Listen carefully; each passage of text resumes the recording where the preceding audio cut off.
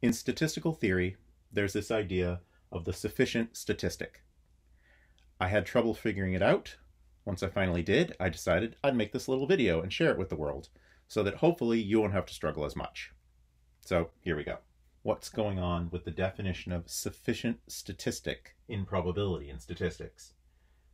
They say U is sufficient for theta if the conditional distribution of the y1 to yn given U does not depend on theta.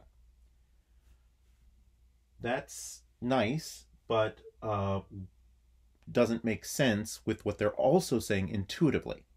What they're saying is a statistic is sufficient if you don't have to go back to the raw data for more information. For example, if you're trying to estimate something and you know the sample mean, the sample mean is good enough. Like going and looking at the data some more won't actually improve your estimate because y bar told you everything you needed to know. That makes intuitive sense. What does that have to do with this? It took me a while to figure out, but it's because they said it backwards. I don't know why they reversed it, but here's what they're doing. A and B are independent if the probability of A times the probability of B is the probability of A and B. But there's two other ways to say that. You can also say the probability of A given B is the probability of A. In other words, B doesn't matter when you're figuring out the probability of A. It's like, I rolled a die. What's the chance it's a 3? 1 sixth. Okay, it's cloudy out. Now what's the chance that it's a 3? Still 1 sixth, because being cloudy has absolutely nothing to do with the roll of the die. But you can also say, you know, what's the chance that it's cloudy given that I rolled a 3? Though you rolled a 3 doesn't do anything for you. So there are two opposite ways of talking about independence. Well, three really, but two of them are verbally reversed. And they used one in the definition and another one in talking about it intuitively. And it took me quite a while to figure out that's what they were saying. What they're trying to say here is the conditional distribution of the y's given u does not depend on theta.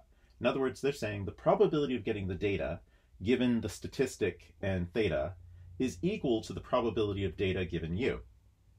Now that seems to have absolutely nothing to do with you don't have to go back to the data for more information if you have the sufficient statistic and you're trying to estimate a parameter. Because that would be more like saying this. The probability of the parameter having a value given U and the data is equal to the probability of the parameter having a value given U. This is the one that says you don't have to go back to the raw data for more information to improve your estimate. Like your estimate is just as good with the data as without, so long as you have the sufficient statistic. That's what makes sense intuitively with the verbal description. But the definition they gave was this. It so happens that those two things are mathematically the same, but conceptually they're completely different. I have no idea why they pulled that switcheroo, uh, but they did, and since I wasted a lot of time figuring that out, I figured I would just kind of put out the alert. So if you're Googling for what the heck is going on with the definition of sufficient statistic, hopefully that gives you a little bit of help to get forward. Good luck.